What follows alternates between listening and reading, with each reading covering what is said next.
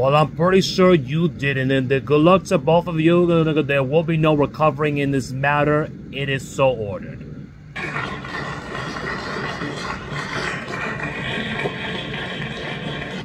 The most rational thing either Felicia or Deshawn said that the during entire proceeding was I really didn't think that through. They are young people with two children living in a family member's house. Clearly, they didn't even think of a number of things through either.